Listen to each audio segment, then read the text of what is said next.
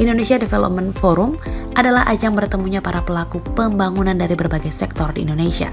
Yayasan Ekonusa akan menyelenggarakan sesi khusus di IDF 2019 untuk mengangkat isu pangan dan tata guna lahan terkait model pembangunan yang berkelanjutan dan inklusif serta penciptaan lapangan kerja bagi orang asli Papua. Pengelolaan homestay di sana itu yang pertama kepemilikannya harus orang lokal. Nah, yang kedua bangunannya juga harus lokal, harus menyatu dengan alam.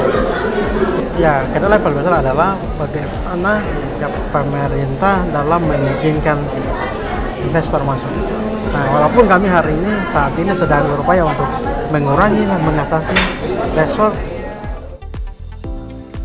Salah satunya untuk membangun homestay di Raja Ampat. Diwajibkan pengelola homestaynya adalah orang asli Papua. Lalu bangunannya harus orang lokal yang menyatu dengan alam atau yang sering disebut green homestay.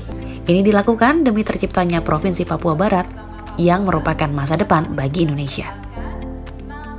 Target ke depan um, bahwa perencanaan pembangunan oleh pemerintah pusat dalam hal ini pemerintahan Jokowi itu perlu memastikan bahwa akses-akses orang asli Papua terhadap infrastruktur yang dibangun dan bagaimana infrastruktur yang dibangun itu menjembatani urusan ekonomi orang asli Papua itu harus dipastikan dulu oleh uh, Pak Jokowi.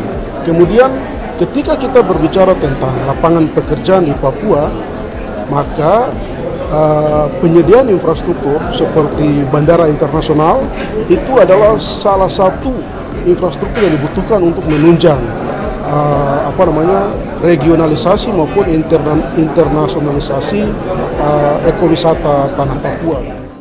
Target ke depannya, Presiden Jokowi pun memastikan akses-akses orang asli Papua terhadap infrastruktur yang dibangun dapat menjembatani urusan ekonomi warga asli Papua. Dari Jakarta, Sabta Priwarsana Genpi.co